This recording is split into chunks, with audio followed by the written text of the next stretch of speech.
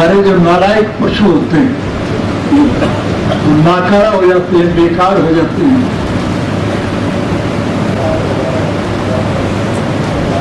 हमारे जो नालायक पशु होते हैं नाकारा हो जाते हैं, बेकार हो जाते हैं। चाहे वो दूध देने वाले पशु हो, चाहे दूसरे हों,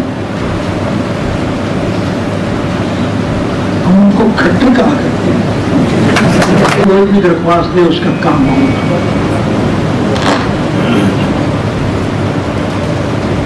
मैं उस बहस में नहीं जाना चाहूँगा, आप सब भुगत होगी हैं।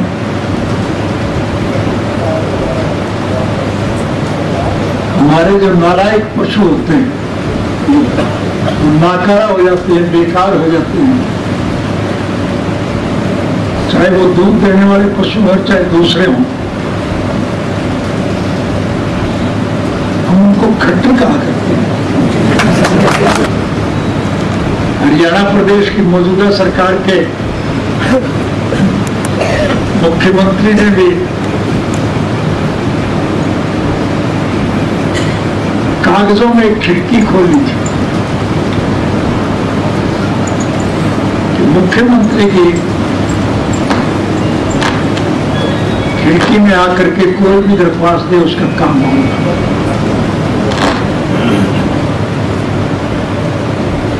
उस बहस में नहीं जाना चाहूँगा, आप सब भुगत होगी हैं।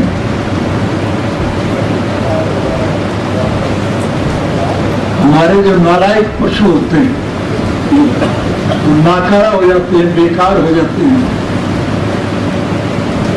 चाहे वो दूध देने वाले पशु हो, चाहे दूसरे हों, हम उनको खट्टर कहा करते हैं। खट्टर ही कहते हैं ये नाकारा आ गया हरियाणा प्रदेश कभी सोचा नहीं था कि इनका भी दाव लगेगा लग गया देश की बदकिस्मती थी प्रदेश का दुर्भाग्य था हमारा बहुत भारी नुकसान हुआ हमारे जो नालायक पशु होते हैं नाकारा हो जाते हैं, बेकार हो जाते हैं।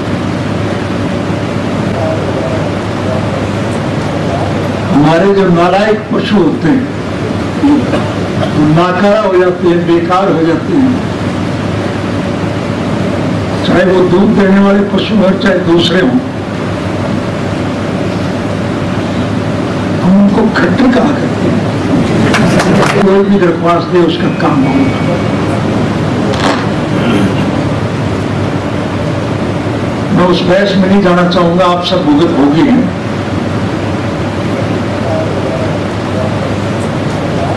हमारे जो नालायक पशु होते हैं वो नाकारा हो जाते हैं, बेकार हो जाते हैं। चाहे वो दूध देने वाले पशु हो, चाहे दूसरे हों, हम उनको खट्टर कहा करते हैं। हरियाणा प्रदेश की मौजूदा सरकार के मुख्यमंत्री ने भी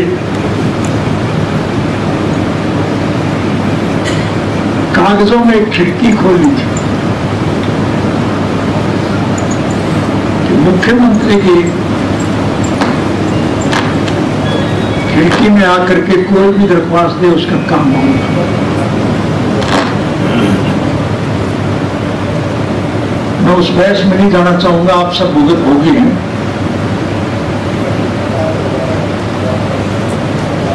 हमारे जो नालायक पशु होते हैं नाकारा हो जाते हैं, बेकार हो जाते हैं।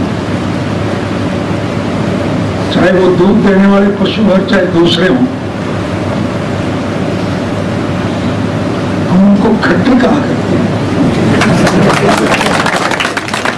कहते हैं नाकारा आ गया, हरियाणा प्रदेश। कभी सोचा नहीं था कि इनका भी दाव लगेगा। लग गया देश की बदकिस्मती थी प्रदेश का दुर्भाग्य था। हमारा बहुत भारी नुकसान हुआ